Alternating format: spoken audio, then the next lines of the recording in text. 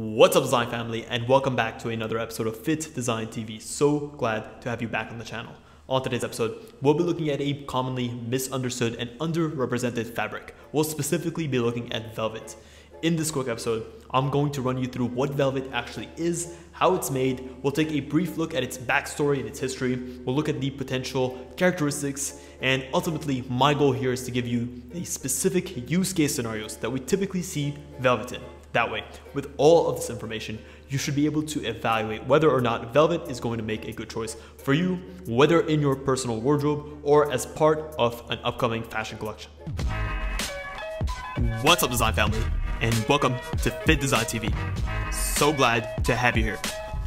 On this channel, we discuss all things sports fashion, graphic design, manufacturing, and technology. We'll discuss key topics, answer pressing questions, and provide actionable steps on starting your own product line. If you're interested in any of the above topics, stick around. You're in for a good one.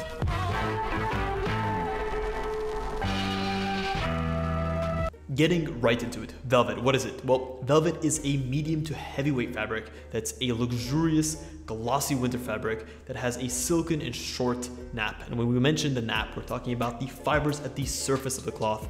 When you touch and feel them, velvet has this sort of characteristic carpet-like feel to it, but it's extremely soft and smooth, and it takes on different colors depending on the lighting and how it's hitting it. So this is one of the biggest characteristics and sort of like the drivers of what makes velvet velvet.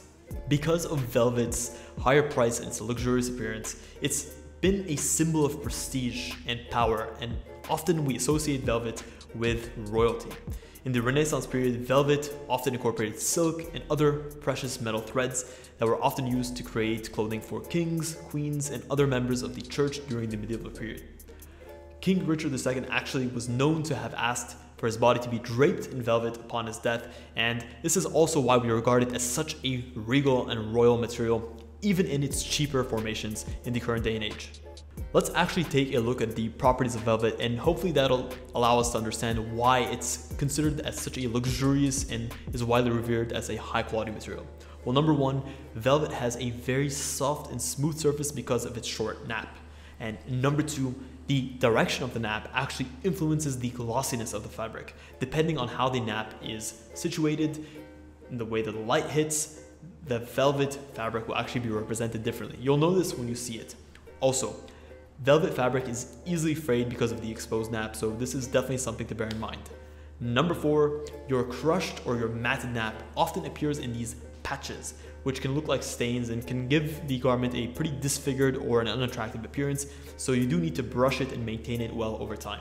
And lastly, Velvet-based fabrics are extremely difficult to maintain because of the napped surface, so if you're buying a velvet fabric, make sure that you're maintaining it well, you're regularly brushing it, and you're storing it in the correct conditions. Next up, let's look at how velvet fabrics are actually made. Well, they're pretty much all made using the same technique. This is what is known as the pile weave technique. We've done a separate video in the past where we've gone into detail in terms of how this technique works, and I highly recommend you check this video out.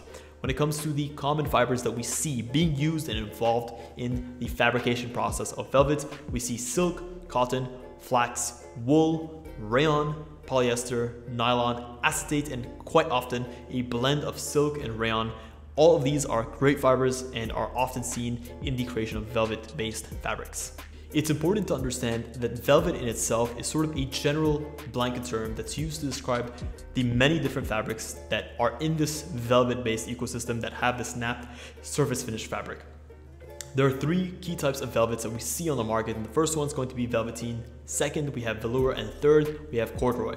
I'll quickly go through a comparison of each, and you guys will be able to kind of note which one you're most used to or the one that's most suitable for you.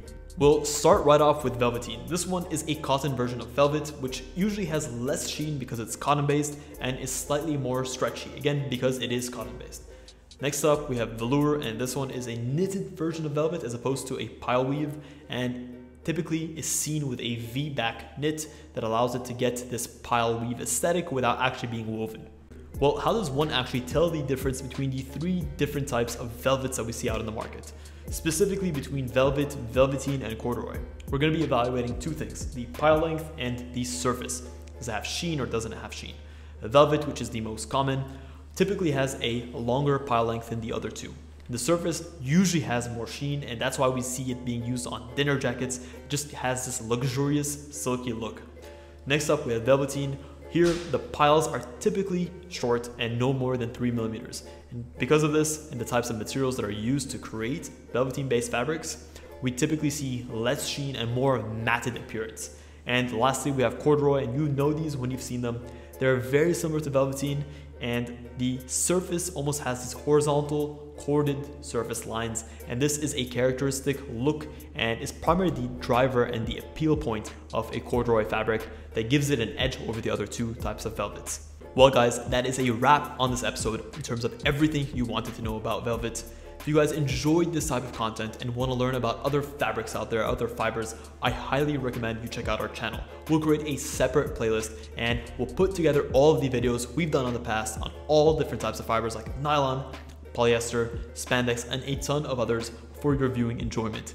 Also, if you enjoy this type of content, please consider subscribing to our channel. We put out great content new on a week to week basis and haven't skipped a beat in over two years. Again, guys, thank you so much for tuning in to this episode of FittDesign TV. Until next one, stay awesome.